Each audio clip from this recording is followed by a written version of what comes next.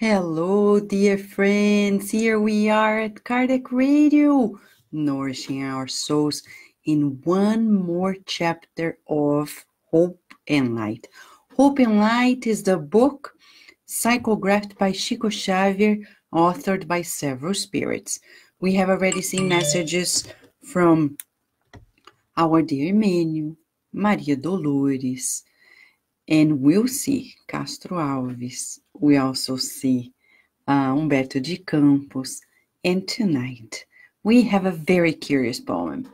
This is not the actual name of the poem, but it's a curious poem. It's very short, and it's by Cornélio Pires. Have you heard of him before? I think you did, right? Chico Xavier psychographed messages from several different spirits from spirits that were uh, Brazilians, non Brazilians, different languages, and some that were really curious. Who was Cornélio Pires? You will hear his name on and off in several books by, by through Chico Xavier. Let me tell you a little bit. Cornélio Pires was born in July on July 13, 1884, in São Paulo, Tietê, São Paulo, and he discarnated in 1958, in the very year that Chico Xavier was psychographing books such as Thought and Life, Evolution in Two Worlds, etc. He was a journalist, writer, and a Brazilian folklorist. He, Cornélio Pires was the most important studies of the countryman. He understood the countryman and was the first to launch records, the country music, music called today roots music. Cornélio Pires was a cousin of the writers Elci Lessa, Origenes Lessa, Ivan Lessa, Sérgio Pinheiros Lopes, and he's the uncle he was the uncle of the Spiritist journalist and thinker José Herculano Pires. Can you believe it? So he was an intellectual and a man who understood people who lived in the countryside. He used to travel throughout the state of Sao Paulo, not only but mostly, and he would understand the culture behind it. One day in one of his trips, he became acquainted with Spiritism and mediumistic meetings. He then bought into that, started studying it, helping it, doing mediumistic meetings, and you know, later on, he is one of the uncles that influences Herculano Pires. Quite amazing, huh? Quite amazing. We didn't know. Here it is, a beautiful story. Another spirit author through Chico Xavier, inviting us to new understanding. His way of writing was somewhat uh, poetic and um, it had some sense of humor. Okay, so we're going to read this poem, which is short, and I think this is great lesson for parents. In it, why would it be published? Why would Emmanuel preface a book and say, publish this poem as well, Chico, by Cornélio Pires? Cornélio Pires, he's a writer, he's a serious person, and now on the in the beyond, he really wanted to educate us as well. So I'm going to read the short poem in Portuguese first.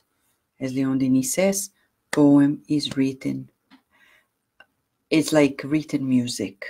And then I'll read the English one. Okay? Are you ready? Hello, Sol Souza. Hello, Carol Correia. Jonas Pelicione. Hello, you're from Brazil. Wow, welcome. So let me open here the book Hope and Light in Portuguese, Esperança e Vida. And let us go through it. One second, please. All right. And here is the poem. Let's read it. Oops. Just a minute, please. Just skipped. Here it is. Oh. It just escaped me. I forgot to mention that one of the spirit authors in this book, Jair Presente. Jair Presente, remember we talked about him, but we'll talk more in the near future. Today, the poem is titled Enigma. Hmm, interesting. And it says: Vais, filha, ao carnaval, mas nada penses de mal, disse o pai com voz serena. É, acrescentou, teu pai te aprova, mas não traga gente nova, que a nossa casa é pequena. Cornélio Pires. Short Why did Emmanuel ask this? It seems like he's playful, right? Hmm? Good sense of humor. But remember, he is a man who studied the family life, the country, people, right? And in Brazil. And he brings from the beyond this short poem. Why? Why? What's the purpose? We're not going to explain as if we had him here because he could explain better directly to us. But let us think because Kardec taught us in all of the Spiritist magazines, in all of his books, he helped us to think. Right, Carol Correa? Very meaningful. Actually, we the book is Hope and Light, and we're talking about the hope, the hope of a father believing in this daughter. Because when you don't believe in the person, you don't say anything because it's fruitless, right? But when you still have hope, you invest, you educate. So this is insight number one from Cornélio Pires' lesson. Hope in our children. When parents lose faith and hope in their children, they are failing as parents. And you may say, but Vanessa, what about those terrible children? You want to give up on them because no matter how hard you try. But think about this. As Mentor Joseph says, they are children of God first. Are you telling God, God, this child of yours, you, I don't know, it's not going to amount to anything. This is a big mistake from many parents. Many parents even see babies who are troubled in their first months or, you know, a toddler. Even when people say terrible two, terrible twos, terrible threes, it's terrible when the parents label it this way. Because they are not seeing that they are losing the hope. In this poem, we see a father who says, I believe in you. You can go to the party, to the Brazilian carnival, which is a party. You can go. But think of no evil. If he's saying think of no evil, he believes that she has good nature. That's wonderful. Right, Jonas? It's beautiful.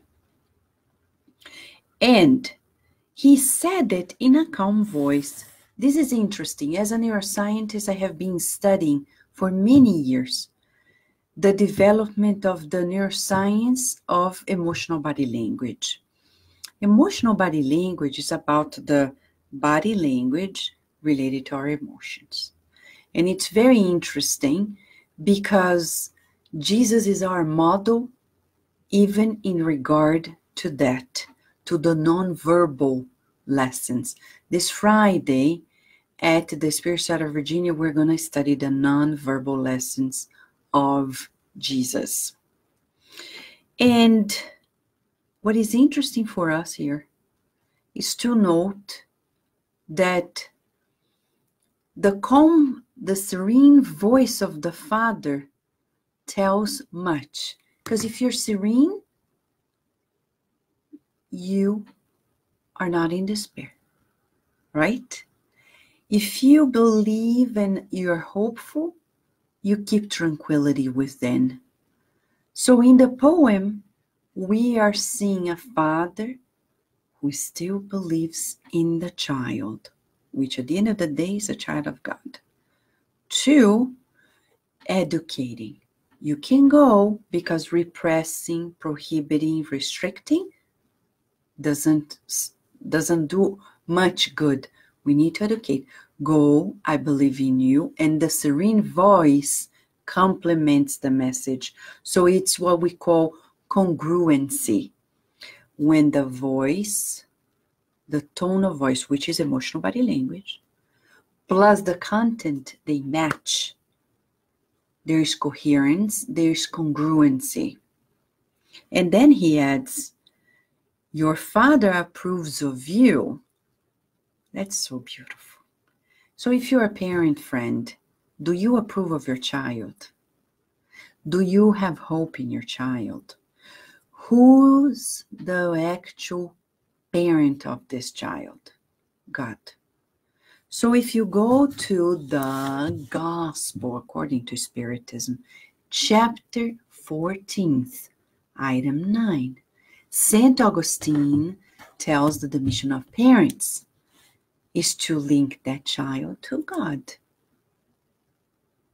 So we need to evaluate if we are fulfilling that mission.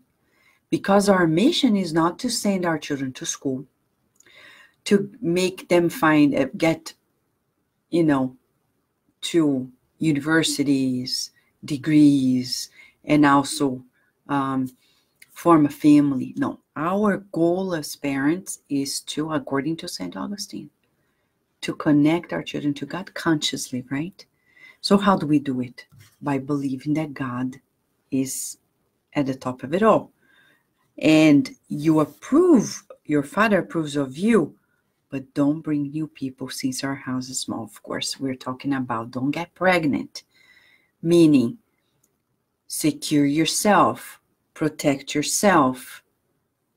Some parents ask me, but Vanessa, am I going to say that stuff to my child? Of course you will. But ideally, you talk before things happen, right? Some people ask when is the right time to talk about pregnancy, abortion? Well, since ever. They're going to the Spiritist uh, education, they come home. The other day, Mentor Joseph said, talk to Virginia about abortion, all the children in the center. She's six. Right now, nothing's happening. But we need to talk about it because many people get to know of it when it's already too late when the impulses are up and running. So we need to know that this brain eh, develops according to stimulation. If you stimulate, it builds connections. So if we explain, the parents that think that the spirit is not going to understand, they don't understand that behind that little body is an immortal spirit. So Professor Eurípedes Barsanulfo tells us, he tells us clear cut, talk to the spirit, not to the child. Because I see majority of parents who talk to their children like this. Don't do this, do that, da da da. They don't explain.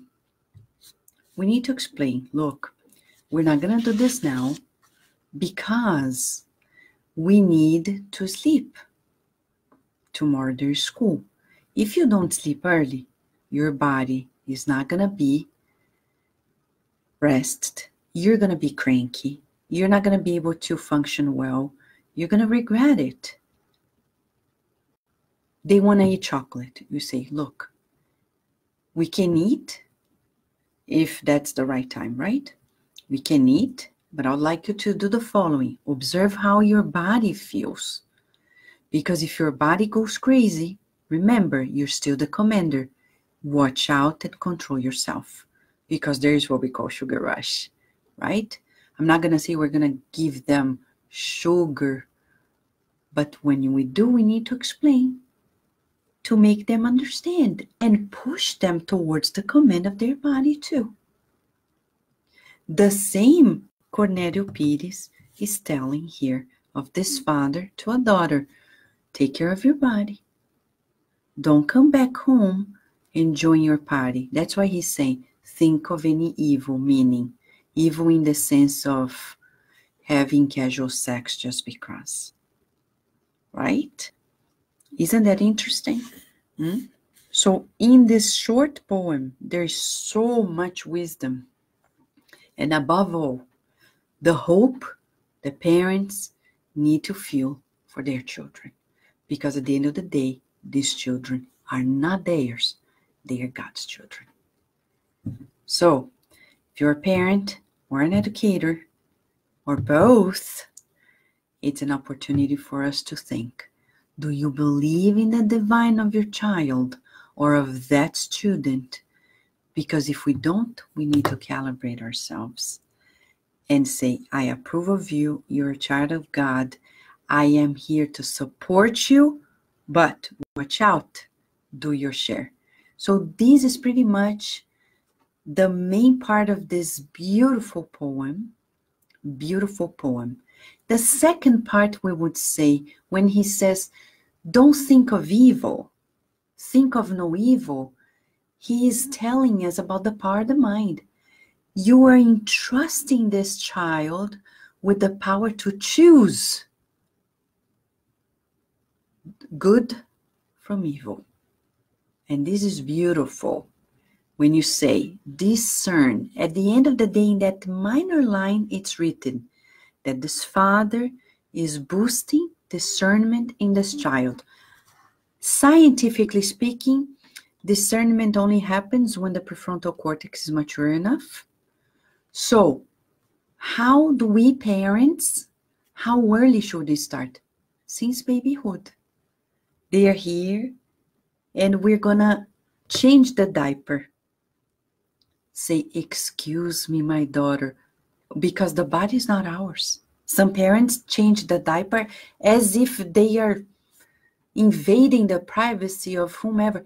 They don't realize we have to be very caring in the sense of like, this body is not mine. Excuse me, dear baby, we're going to change this diaper. And some parents do even worse. They look at the pee or the poop and they're like, oh, oh my gosh. But look, pee and poop is byproduct of what they ingested, plus the chemistry inside. How can we be disgusted about a natural process? So it's self control of the parents. Mentor Joseph always said, do not ever despise or be disgusted by the excrement of your child because it's their production. You're teaching them that what they're doing is not good enough, psychologically speaking. Psychology explains that to us. So we need to tweak a little bit there and control ourselves and see the beauty of it all. Say, well, the body is working well, it's functioning well, and pay attention. Of course, we need to pay attention because there are signs of health or illness in those products, right? So, it's also a way for us to control our minds and teach our children discernment, saying, we're going to do this. Now we're going to go to sleep, even if they're babies or toddlers. Very serenely, I believe in you.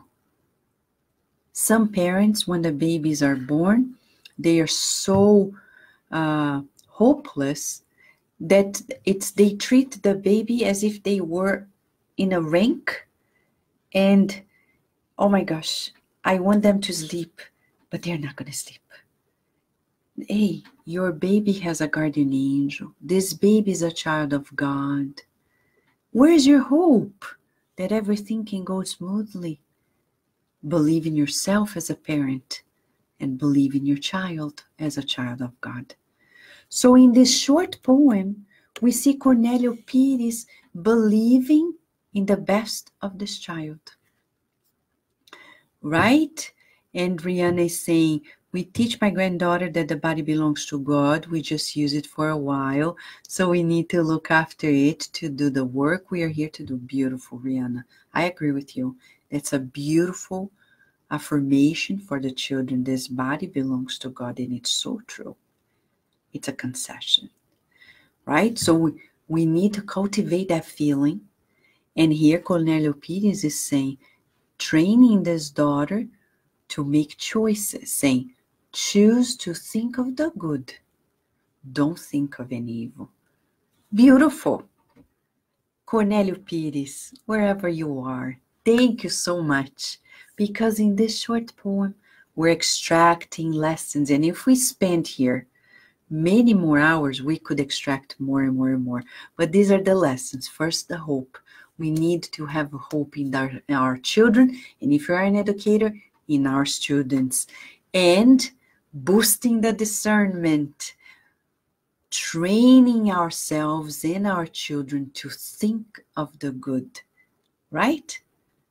This is Cornelio Pires in this beautiful poem through Chico Xavier from the book Hope and Light. So, friends, thank you so much for joining us, right, Silvio Tero?